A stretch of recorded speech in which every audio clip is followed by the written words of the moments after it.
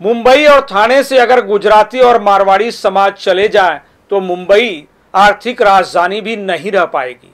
यह बयान महाराष्ट्र के राज्यपाल भगत सिंह कोश्यारी के हैं, जिसके बाद इस पर बवाल मच गया है। शिवसेना पक्ष प्रमुख उद्धव ठाकरे ने इसे मराठी अस्मिता और मराठी जनों का अपमान करार देते हुए उन्हें कोल्हापुरी चप्पल की भाषा समझाने और जेल में डालने की मांग की है। नवी मुंबई में भी शिवसेना पदाधिकारियों ने इसके खिलाफ आंदोलन किया और राज्यपाल के खिलाफ नारेबाजी की। देखिए रिपोर्ट। या कोशारीचं करायचं काय?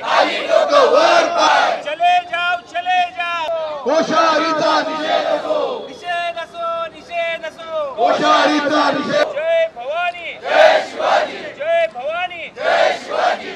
जिंदाबाद। शिवसेना जिंदाबाद। जिंदाबाद जिंदाबाद। लोगों से कहता हूँ महाराष्ट्र में कि भाई महाराष्ट्र में विशेष करके मुंबई, थाने, यहाँ से गुजरातियों को निकाल दो और राजस्थानियों को निकाल दो तो तुम्हारे यहाँ कोई पैसे बचेगा ही नहीं। ये राजधानी जो है, जो कहलाती है, आर्थिक राजधानी आर्थिक राजधानी कहलाएगी नहीं। राज्यपाल भगत सिंह कोश्यारी के इसी बयान ने महाराष्ट्र में बवाल मचा दिया है। शिवसेना पक्ष प्रमुख उद्धव ठाकरे ने इस बयान को मराठी जनों का अपमान बताते हुए राज्यपाल के खिलाफ कार्रवाई की मांग की है। वहीं शिव सैनिकों ने आज मुंबई नई मुंबई समेत कई ठिकानों पर प्रदर्शन किया।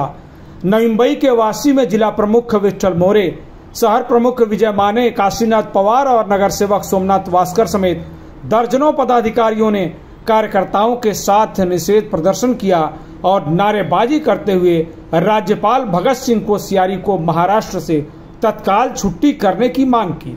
जिला प्रमुख विठल मौर्य ने कहा कि राज्यपाल बीजेपी की कठपुतली हैं और उसके इशारे पर ही मराठी और गैर मराठी लोगों के बीच द्वेष और दुर्भावना पैदा करने की कोशिश कर रहे हैं।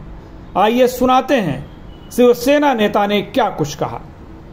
कोश्यारी, यांनी मराठी माणसाला अपमानित आणि मराठी माणसं गुजराती आणि राजस्थानी समाज यांच्यामध्ये भेदभाव निर्माण करण्यासाठी किंवा दरी निर्माण करण्यासाठी वैमनस्य निर्माण करण्यासाठी जे काल वक्तव्य केलं आणि त्याचा निषेध संपूर्ण देशामध्ये संपूर्ण महाराष्ट्रामध्ये शिवसेनेच्या वतीनं आज नवी मुंबईमध्ये या ठिकाणी केला जातो आहे आपण हे यांचं वक्तव्य त्या निवडणुकीच्या वेळेलाच का केलं गेलं याचा सुद्धा विचार करण्याची गरज आहे.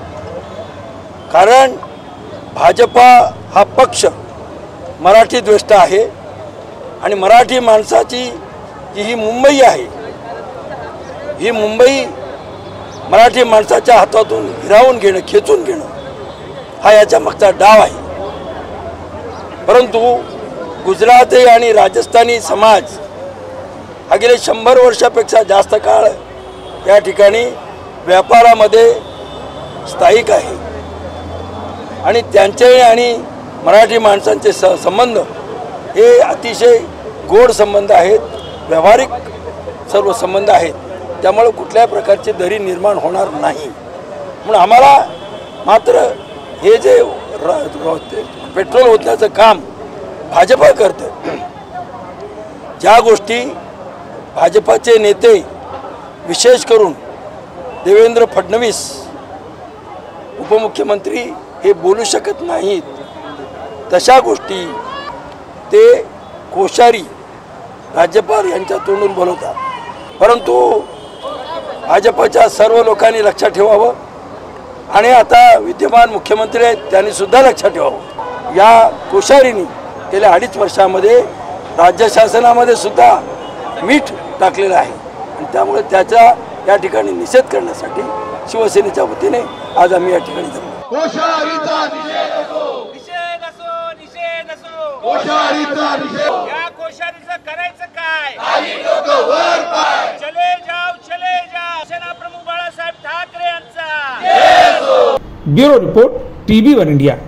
Latest updates और ताज़ा तरीन खबरों के लिए टीवी वन इंडिया लाइव को सब्सक्राइब कीजिए और नोटिफिकेशन पाने के लिए बेल आइकॉन को दबाना मत भूलिए।